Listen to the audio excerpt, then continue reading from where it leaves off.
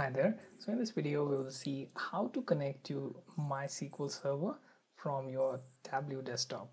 So when you open your Tableau desktop, you will find options to connect to file and server. In server side, you will find list of available servers supported by Tableau. Okay, so here you have to choose MySQL. And when you're choosing to connect with MySQL Server, you have to make sure that you have 32-bit and 64-bit drivers installed if your system is 64-bit. It needs both these drivers in order to connect to this server. If you just have 32-bit operating system, then only installing 32-bit driver is enough. Okay, now when you make connection, you just have to type localhost port number is selected by application itself. Now you have to type username and password here. Okay, so I'm going to type in the demo login and then I'm going to click on OK which will connect me to MySQL server.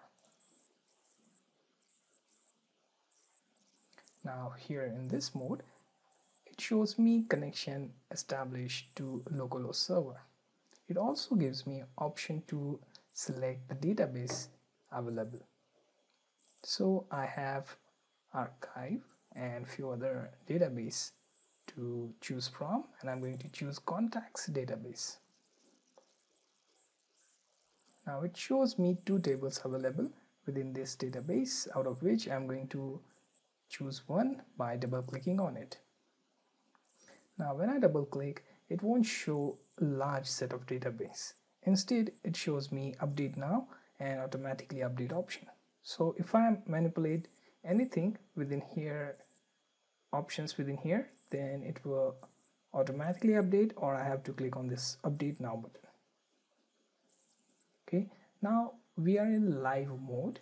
So when we want to work on worksheet, it's better to extract a particular set of data from this connection so that we can work without any live connection. You can choose rows here. In my case, the data that I have, which I can view, basically has 500 rows. I can choose to work with 200 if I want, or I can work with entire set of data. Now, all I have to do is click on update now and it will show me this data. Now to extract that in worksheet and to work on it, select extract mode and then again update.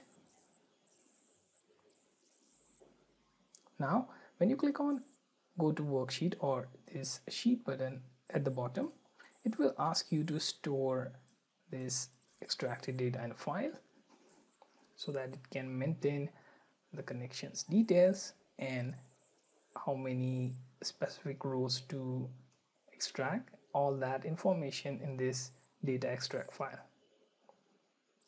So let me type in MySQL demo and I'm going to save it. Okay now this opens worksheet mode here and I get dimensions and measures here. Now I can drag and drop and visualize my data. So this was a short demo on how to connect your MySQL server and then how to extract a particular table data from database into your Tableau desktop worksheet.